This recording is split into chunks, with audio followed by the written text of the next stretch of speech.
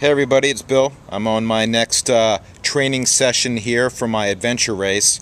Uh, so far I haven't committed to one yet, but I swear it's going to happen and it's going to happen probably in the in early July. So I promise you that uh, I'm one person that's going to follow through on what I was saying. So today I'm getting a bit of a, a late start, kind of a like uh, you know, mid-evening or something like that, and I figured that, hey, I'm going to go for a little short bike ride, and then I'm actually going to try going for a run. So why don't you come along with me and see how well I do.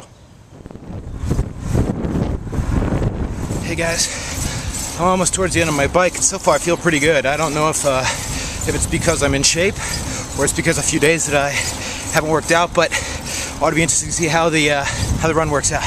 Stay tuned. Hey guys, all right, I made it through my transition, and now I'm running down the street doing my little short run just to see if I can make it without dying. Not too bad so far. Feel pretty good. I'll show you a little bit of what I see along the way. Hey, doing? Woo! Oh yeah. That means that I'm just about at the end. Before I go, just wanted to clue you in once again. I'm going through all this so that you will get off your butt and think about giving us a hand with Climb Up so kids can grow up. Got two events this year, June 22nd to July 5th, and also September 18th and 19th.